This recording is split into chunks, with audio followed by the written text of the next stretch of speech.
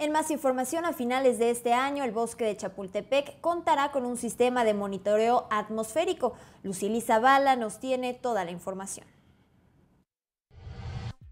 A finales de este año, la calidad del aire en el bosque de Chapultepec empezará a ser monitoreada, informó Armando Retama, director del Sistema de Monitoreo Atmosférico del Distrito Federal, CIMAT.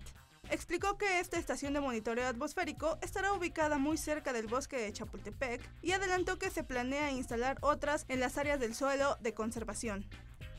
De tal manera que no solamente nos estemos centrando en la parte urbana, sino también en las áreas donde tenemos suelo de conservación o bosques urbanos, que nos parece importante, porque además son los pulmones de la ciudad.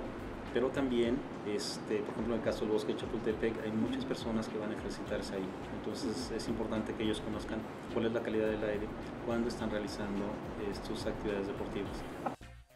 El químico Retama dijo que en la zona urbana de la Ciudad de México ya se cuenta con 29 estaciones de monitoreo instaladas y el objetivo es instalar más en la periferia. La primera estación de monitoreo de bosques se encuentra instalada en el centro de la Jusco Medio, la segunda se instaló en el Centro de Ciencias de la Atmósfera de la UNAM e iniciará operaciones a finales de mayo. En el caso de la que medirá la calidad del aire en el bosque de Chapultepec, en la delegación Miguel Hidalgo, esta entrará en operaciones en el último semestre de este año.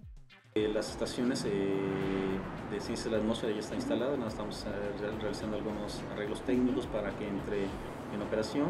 En el caso de la estación que va a estar ubicada en el bosque de, cerca del bosque de Chapultepec, en la delegación Miguel Hidalgo, este, va, a entrar en operación durante el segundo semestre de este año y las estaciones que vamos a ubicar en el suelo de conservación eh, van a estar este, instaladas hasta finales del año e iniciarán operaciones el próximo año. Sobre el costo, detalló que estas estaciones de monitoreo, que se encuentran equipadas con analizadores para ozono, dióxido de azufre, monitoreo de carbono, óxido de nitrógeno, partículas y además parámetros meteorológicos, tienen un costo de 4 millones de pesos para su adquisición y los costos de operación pueden ser de hasta 200 mil pesos al año. Estos equipos operan de manera automática y envían la información al sistema de monitoreo atmosférico para la evaluación de la calidad del aire. Los, equipos operan de manera autónoma, eh, sin embargo hay que estarlos verificando una vez al mes para asegurarse que la infraestructura se encuentra en buenas condiciones, los equipos están operando de manera adecuada y toda la información se está recibiendo en este sitio y desde aquí podemos estar evaluando el desempeño de los equipos.